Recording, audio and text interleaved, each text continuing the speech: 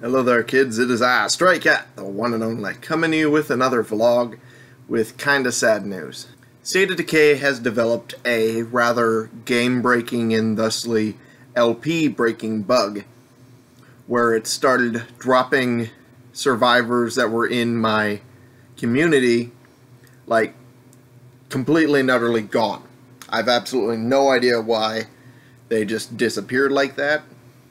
Um, there was no warning no, they were missing prior but to that. They were out, but I managed to do the quick check in, bring them home before they were supposed to like be gone forever apparently.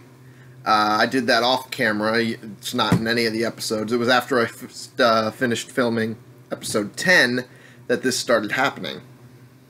As you're probably seeing episode 9 right now. I got a little bit ahead of myself today and I'm like, eh, fuck it, let's just go. And it all went to shit. there was a similar bug that had the same thing happen when infestations that were too many of them were concentrated apparently around the house, even though for some reason the radius around the house included the entire map.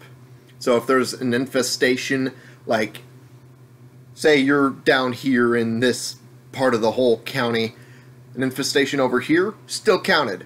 And if it was over three, people would end up being chased off and go missing and then eventually die on their own. This instance, however, happened when it was hordes traveling around through outposts that I had just put up the little safety net you're supposed to put up. They were traveling through, going through pretty much outpost trapped after outpost trap, pretty much killing themselves. But for some reason, it registered as too many of them when it was only one within that net, usually at a time. And people started going missing, including our main man, Jacob Ritter, who just up and disappeared completely and utterly. And of course, I was understandably upset about that, especially after moving us to the big house that we busted ass trying to get. So, yeah, I'm a little bit upset. I'm very upset, to be frank. I don't know if Undead Labs knows.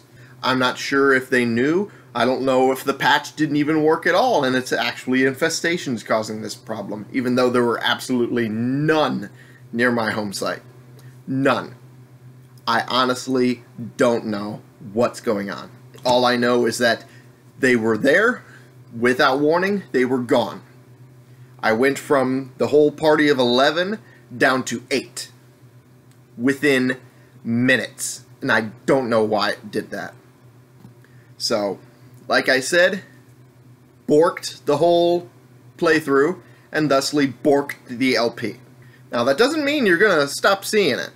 I'm going to reboot. I'm going to clear all the data from my hard drive on my Xbox, clean it all up, and run it again. This time we're going to learn from our mistakes. we're going to learn to not take the goddamn medic out. We're going to learn not to fucking throw the ninja around like they fucking know what they're doing when I know for a fact they don't know what they're doing. We are going to be going again. This time in Breakdown, I'm probably going to be building it up in my off time to be going it into breakdown level 2.